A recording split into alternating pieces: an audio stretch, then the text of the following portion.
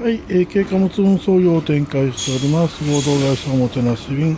代表社員の新年シェルです。えー、と本日は、えーコンビニ周りの、えー早朝の出荷ということで、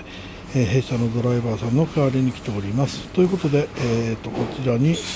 え集荷したものを、えー置きまして